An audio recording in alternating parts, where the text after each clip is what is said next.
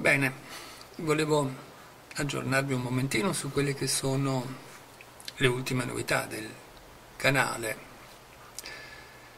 Ho letto integralmente lo Zibaldino ed è una lettura che io ho trovato molto simpatica, anche edificante in un certo senso, perché mi ricorda il mondo, mi riporta al mondo della mia infanzia, con quelli che erano i rapporti che io trovo più semplici che esistevano a quell'epoca e direi anche con una certa nostalgia, anche con la scoperta di un, di un humor, di un'ironia semplice ma intelligente e, e quindi l'ho letto con un, certa, con un certo piacere, insomma.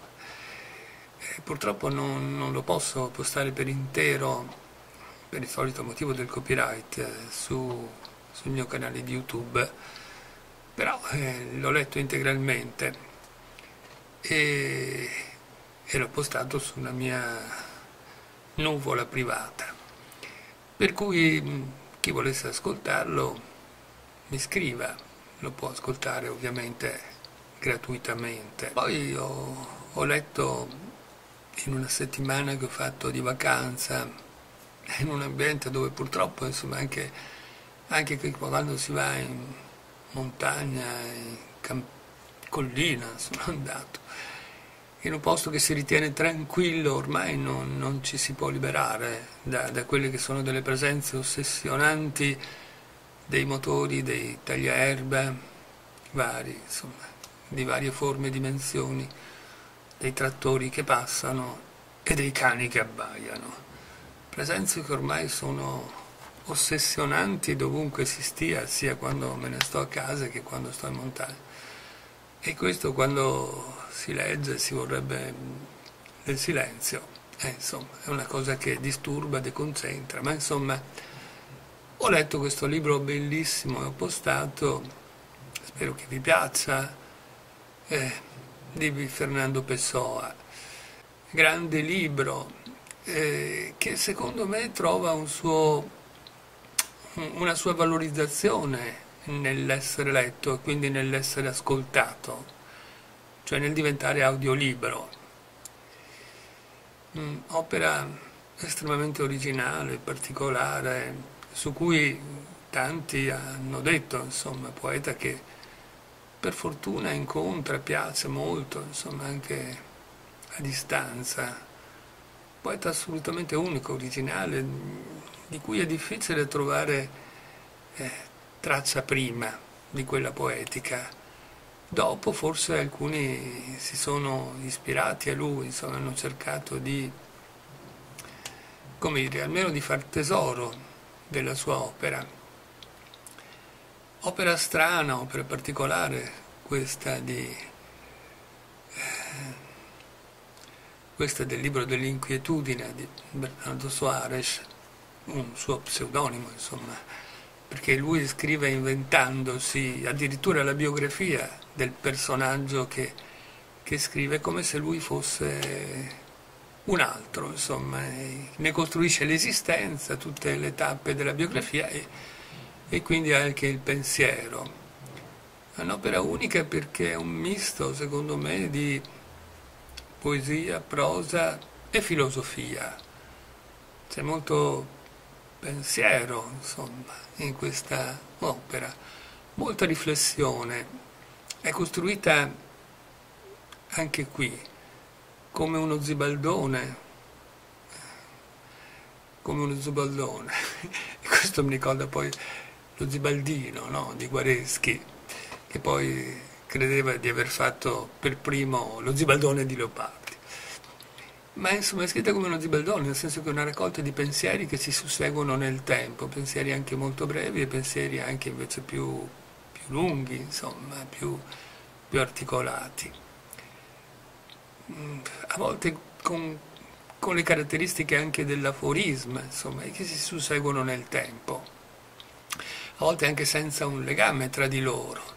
E quindi riflessioni, riflessioni che sono soprattutto introspettive, insomma, sul eh, il personaggio si interroga su se stesso, sul perché pensa in quel modo e riporta i suoi pensieri, le sue impressioni, il suo mondo interiore continuamente stimolato da, dall'esterno, ma eh, con un'attenzione soprattutto al proprio io, al proprio sentire, alle ragioni del proprio sentire. E la scrittura è assolutamente, che ne deriva è assolutamente eclatante, insomma, di una bellezza eccezionale, insomma. Perché? Perché lui riesce a trovare, a trovare delle forme espressive, qui bisogna così elogiare anche la traduzione, insomma, no? che riesce in qualche modo a rendere, delle forme espressive ricche di, di metafore, di similitudini strane, in cui mette insieme tantissime cose, mette insieme colori e sensazioni diverse, mette insieme la materia e lo spirito, mette insieme eh, cose che noi non siamo abituati a far stare insieme, no? eh, a lanciarci dei segnali che guardano in un mondo che, che lui costruisce dall'interno, cioè riesce a costruire un mondo suo che ci fa intuire eh, ma che è difficile da, da, descrivere perché è un mondo assolutamente nuovo, che va oltre i valori che siamo stati abituati con la nostra cultura a, considerare, su cui formiamo spesso la nostra vita. Insomma, riusciamo attraverso il suo scritto a, in, a intravedere qualcosa che non c'è, che noi non abbiamo mai, mai visto, insomma, però che percepiamo che ci sia è come se, come dire, intuissimo l'esistenza dei virus, dei microbi, ma non, non li avessimo mai visti e per vederli abbiamo bisogno del microscopio, magari del microscopio elettronico per vedere i virus. E lui mette a disposizione il suo microscopio e noi intuiamo un mondo altro, eh, un mondo che in qualche modo ci affascina perché lui lo descrive con con questa intensità, eh, ce lo fa intravedere, ma è assolutamente altro, è difficile concretizzarlo e ci rimangono queste immagini, queste immagini della mente, queste immagini della fantasia, questa immagine di questo mondo di sogno che lui costruisce, perché la realtà eh, del sogno è molto più importante della realtà vera. E quindi ci, ci, ci prende in, questa, in queste continue riflessioni che non hanno una continuità, non portano da qualche parte, insomma cominciare a leggere in un punto eh, non è che poi ci fa arrivare da un'altra parte, ogni riflessione è, uno stato a sé, per cui insomma questo libro si può leggere eh, cominciando da dove si vuole o si può ascoltare cominciando da dove si vuole, perché non c'è un filo conduttore unico, il filo conduttore è questa continua, insistente penetrazione nel mondo psicologico di questo personaggio che riesce a riflettere su tutto, anche sulle cose più insignificanti, a riportare, a descrivere i suoi ricordi, le sue sensazioni, le sue emozioni di un momento, ma esprimendole con figure, con un linguaggio assolutamente unico, assolutamente eccezionale, che ci lascia a bocca aperta ogni volta che lo ascoltiamo. E quindi possiamo cominciare a lasciarci andare all'ascolto di, di, di, di, questa opera, alla lettura per chi la vuole leggere, ma insomma ci possiamo anche mettere sdraiati ad occhi chiusi ad ascoltare questa, questa lingua, queste immagini, questi ossimoli, spesso queste similitudini uniche, particolari, insomma, che ci portano in un mondo in un mondo che, che lui riesce a farsi intuire. E, e, quindi percepiamo che oltre il nostro mondo, il nostro modo di esistere, nostra, il nostro modo di, di pensare, la nostra mente calcolante, esiste forse immediata anche o stimolata dal suo disadattamento alla vita reale. Esiste anche un altro mondo fatto di, di, di, sensazioni, di emozioni, ma un altro mondo che potrebbe essere possibile, ma che non lo riscontriamo nella realtà, lo riscontriamo nel sogno e come lui questi sogni eh, diciamo, questa, questa, realtà sognata ce la riesce a rappresentare con, con la lingua e quindi scopriamo nella lingua, nel linguaggio, nella letteratura, una, una possibilità, uno strumento di costruire realtà che, che è unico, che, che, che, ci affascina, insomma, e, e quindi bisogna, bisogna, ascoltare per capire tutto questo. Ecco.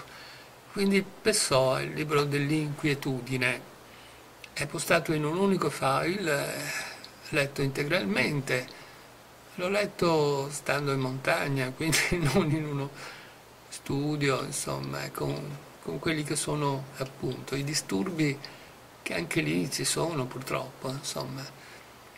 Però, insomma, credo che si capisca.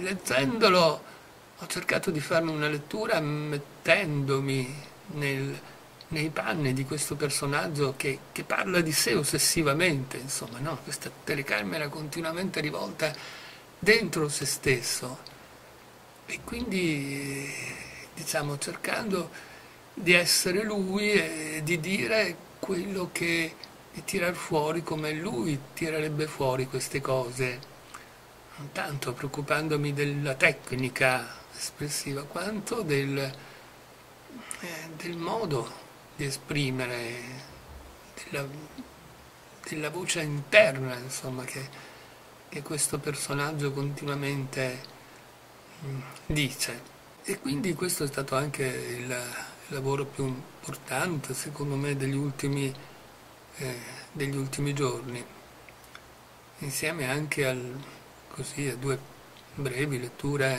racconti eh, di Turgenev, che, che anche vi consiglio, insomma. Poi eh, sto cercando in questo momento di, eh, dire, di, sistemare anche un po' di materiale, di materiale vecchio. Sto cercando di, che faccio in continuazione, di, di, migliorare un po' la qualità audio man mano che magari riesco a, a maneggiare con un programma nuovo dal punto di vista del software e quindi eh, vorrei cercare di mettere anche in un unico file eh, i grossi libri che ho letto in passato, insomma, no. Allora sto cominciando un po' con i promessi sposi, mettendoli in un unico file, Moby Dick ugualmente, e posterò man mano, ma in breve spazio di tempo, l'uno dall'altro poi andando a Dostoevsky, insomma, no? cominciando con l'idiota e andando avanti con, con gli altri grossi romanzi di Dostoevsky e posterò, perché ho già letto anche altre piccole cose nuove, racconti più brevi, ma non brevissimi, insomma, tipo Povera gente, queste cose qua che ho letto anche abbastanza di, di recente. Poi torno a dire che insomma io sono contento, insomma eh, si calcolano i due canali, uno ha raggiunto i mille iscritti, l'altro ne ha più di 21.000, quasi 21.500, quindi siamo a 22.500 iscritti. Insomma, eh, ribadisco che se ci sono questi iscritti in questo canale e continuamente ricevo delle mail di, di, di, di supporto per il lavoro che viene fatto, ecco, eh, vuol dire che qualcosa arriva che questo lavoro forse non è del tutto inutile, anche se lo so, ma lo so da me che non sono, che so io, il massimo dei, dei narratori, che probabilmente ci sono dei difetti nel mio modo di narrare, ma so anche, perché me lo dite voi, che chi ha voglia di raccogliere quello che, che viene narrato, ecco, per questi che hanno voglia di raccogliere arriva, cioè è una narrazione la mia che riesce insomma, a far capire il messaggio del libro, almeno nella gran parte dei casi. Poi c'è sempre quello che si ostina a, sono pochissimi per la verità, ma che si ostina a farmi notare che ci sono delle cose. Allora, siccome le so, ormai è esasperante, ho fatto decine di video in cui dico queste cose, basta. Ha uno strumento importante, è quello di non guardarmi, non guardare i miei video. È inutile che si ostini a dire che lo Zanardi trascina i finali, non lo so, che, che, che, che è monotono, perché per alcuni sono monotono, per alcuni sono troppo espressivo. Insomma, ognuno si fa un suo stile, quello piace o non piace. Ma basta, basta mandarmi. Poi, insomma, è sempre qualcuno che mi dice queste cose qua, ma più o meno è sempre lo stesso, insomma, si veste da fake, non ha una faccia attraverso la quale dire questo, per lo più. Siccome ho messo qualche, qualche video su Audible per capire un pochino cosa, cosa succede in quel mondo e anche magari ne parlerò perché è un mondo anche questo molto, molto furbo in cui alla fine chi posta è sempre più, come ho detto un'altra volta, un servo della gleba, insomma, dove si, si fa una guerra tra poveri e dove invece i, i ricchi mm, no, no, non fanno il lavoro sporco, insomma, e, e invece guadagnano sul lavoro degli altri. Ma anche lì, per esempio, c'è, uno che mm, appena arriva un, un mio audiolibro, gli metto una stella, ma guardandosi bene dal mettere una stella anche eh, per quello che riguarda la valutazione libera, voi sapete che su Audible ci sono eh, due criteri, insomma due, due, modi ogni volta che si fa un, una valutazione, che si mette una stella su, su quell'audiolibro eh, e si fa la media insomma, no? tra la voce del narratore, tra quello che è il narratore, come è narrato, e tra i, la qualità del libro, insomma, il libro. E quindi si mette un certo numero di stelle per la narrazione, un certo numero di stelle da 1 a 5 per, per il libro. Ecco, questo qui, e lo fa, l'ha fatto per 3-4 dei miei libri, appena escono, ovviamente non li ascolta, ma mette una stella soltanto per quello che riguarda il narratore per, per evitare anche di fare media, insomma. No? Quindi si capisce che ce l'ha con me.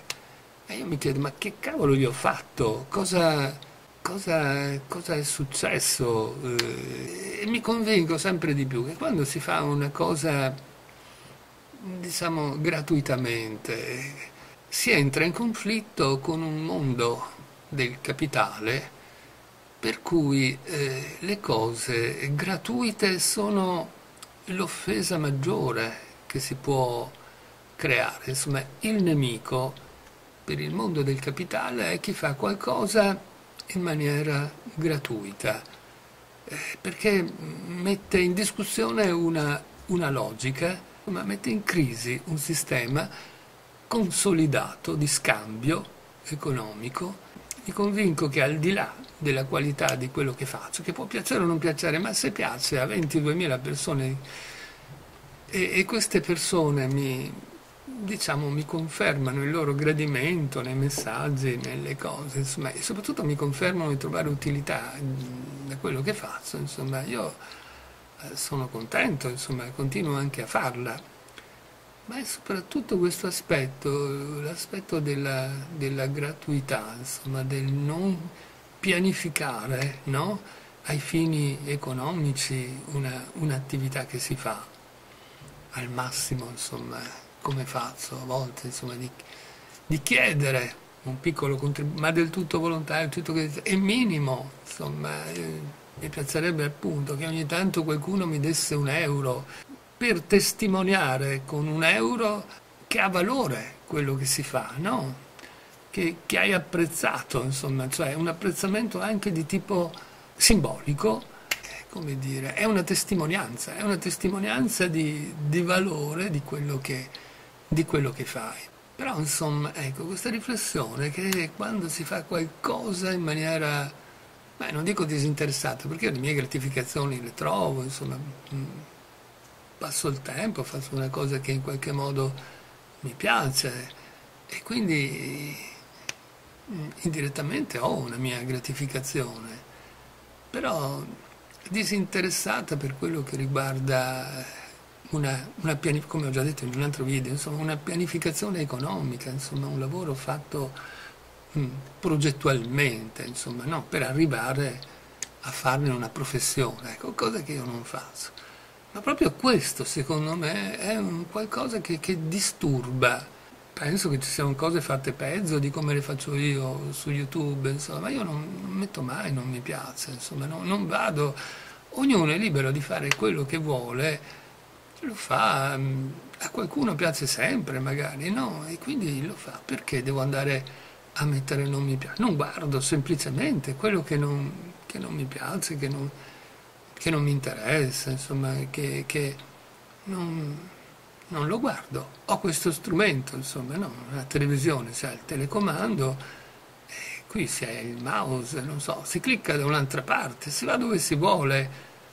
Mm, poi insomma, ecco, poi quando si mettono dei commenti che sono sempre anche un po' offensivi, insomma, no? di una valutazione che a volte non corrisponde, oppure come, come su Audible, insomma, si fa una, una manovra che invece decisamente, insomma, di ostile chiaramente rivolto a te, insomma, no? Perché non lo fai una volta per caso, insomma, lo fai, insomma, lo fai per partito preso. Hai individuato un nemico e quel nemico lo vuoi colpire con, con le armi che hai a disposizione, insomma, in questo caso sono le stelle, ma anche qui, in tempi non sospetti, insomma, eh, anni fa, ho cercato di dire sempre in un video come per me le cose di valore eh, a volte le cose più interessanti, più stimolanti, sono quelle che vedo trattate in maniera estrema da, dalla critica, insomma, da, dai lettori nel caso dei libri, insomma, no? quando,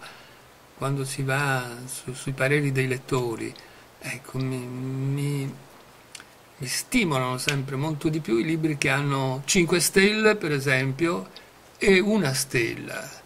No, proprio perché il, dire, se una cosa è interessante eh, c'è chi la capisce e c'è chi invece è disturbato da queste cose. E allora poi insomma sono più curioso di andare a vedere se effettivamente questa cosa è interessante e non capita oppure è veramente uno schifo. Però se è veramente uno schifo, 5 stelle le danno in pochi. Ecco, insomma, spesso chi dà una stella su, sul libro è perché non, non l'ha capito, insomma. Eh, d'altronde, insomma, mica tutti siamo capaci di capire tutto, insomma, ci mancherebbe, insomma. Un saluto.